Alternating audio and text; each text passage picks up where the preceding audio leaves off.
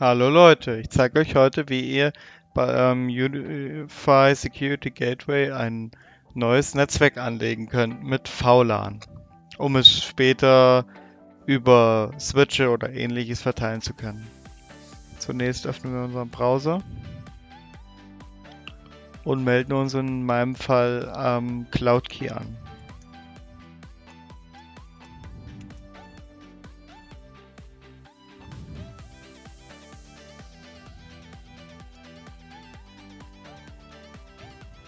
Genau, melden wir uns einmal an. Aktuell sind die Einstellungen noch Englisch. Das können wir ganz schnell umändern, indem wir einmal hier auf die Pfeile gehen, auf Preferences und auf German. Speichern und schließen. Schon sind die Einstellungen deutsch. So. Als nächstes gehen wir einmal auf Einstellungen, gehen auf Netzwerke Dort habe ich schon zwei Netzwerke angelegt. Einmal ein Gastnetzwerk, das primär dafür ist, äh, das Gast-WLAN zu betreiben, damit diejenigen nicht auf die Daten aus dem LAN-Netzwerk kommen. So, als nächstes gehen wir ganz normal auf neues Netzwerk erstellen und haben hier jetzt verschiedene Einstellungen. Äh, genau. Primär werde ich jetzt erstmal ein Testnetzwerk machen und das bleibt bei Unternehmen. Und wenn es halt Gastnetzwerk ist, dann legt er direkt die rechten Firewall-Einträge an, damit er nicht zugreifen kann. Und wenn man ein normales Netzwerk anlegt, hat er Zugriff auf alles standardmäßig.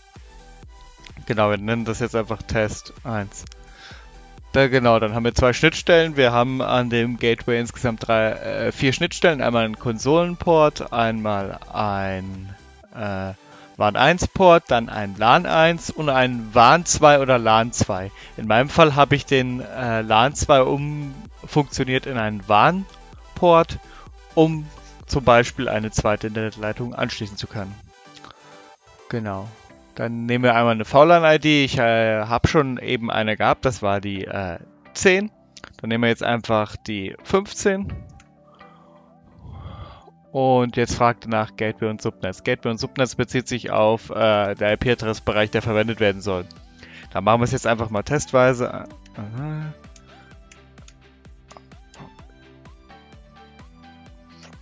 Punkt 1.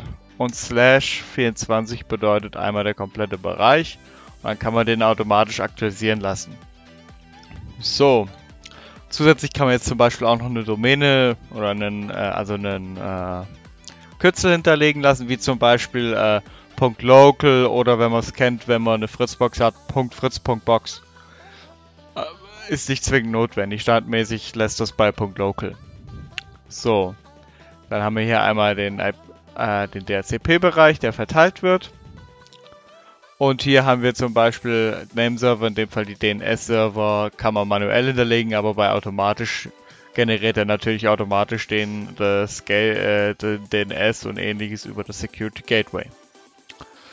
Zusätzlich kann man hier dann noch äh, die Controller, Unified Controller IP-Adresse eingeben, falls der vor, aus diesem Netz verwaltet werden sollte. Genau. Zusätzlich gibt es noch die Möglichkeit, UPnP zu aktivieren, äh, was im Normalfall äh, wenn überhaupt für so Playstation oder ähnliches benötigt wird.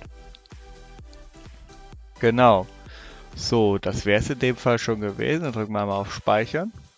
Und jetzt hat er hier ein neues Netzwerk angelegt. Das hat er auch gleichzeitig in den Firewall-Einstellungen hinterlegt. Und jetzt ist natürlich äh, die Frage, wie kriegen wir das auf den äh, Switch?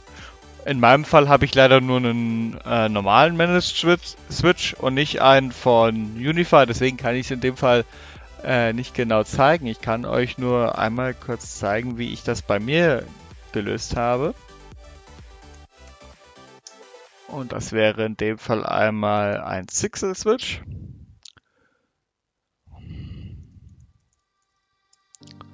An sich äh, recht einfach konstruiert. Und zwar, wir gehen einmal auf Configuration und auf Port. Ich kann euch nämlich jetzt gleich mal einen Port zeigen, den ich schon mal konfiguriert habe. Ach hier, VLAN und auf VLAN, genau. Habe ich hier jetzt das Gast-VLAN einmal eingerichtet. habe ich benötigt, damit mein äh, Unify APAC Pro auch das zweite Netzwerk bekommt. Dann gehen wir einfach einmal auf VLAN, genau, dann einmal auf Port, ist erstmal irrelevant, sondern VLAN-Port, genau. Und hier ist wichtig, äh, dass äh, das Hauptnetz ist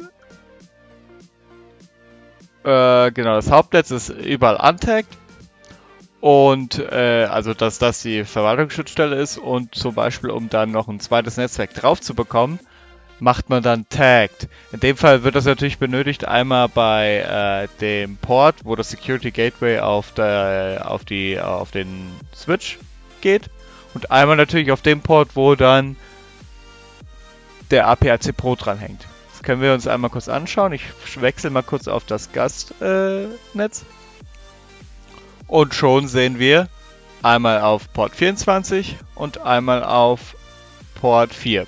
Startmäßig ist es, äh, ist es so eingestellt, dass es ignoriert wird und manuell hinzugefügt werden kann.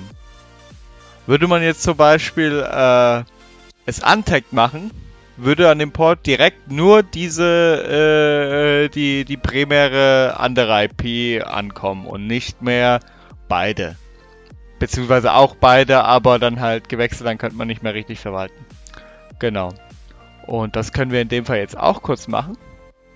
Und zwar, wir gehen mal einfach auf äh, Cancel. Nochmal auf VLAN. Genau, jetzt adden wir mal eins neu hinzu.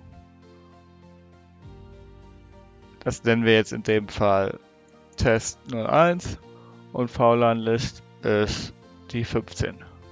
Blub.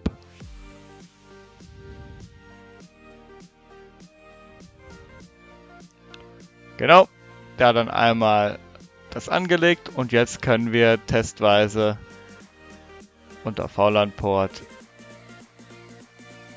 den 15er als Beispiel auch wieder auf Port 24 tagged setzen. Für später kann man dann nochmal was anderes machen, nur aktuell ist es erstmal für mich nicht wichtig. Ist natürlich direkt bei den Ab äh, bei den Switchen von äh, Unify viel, viel einfacher. Sollte ich demnächst einen haben, kommt noch ein Video dazu. Genau, bei Fragen unten in den Kommentaren für einen Daumen hoch würde ich mich auch freuen. Dankeschön!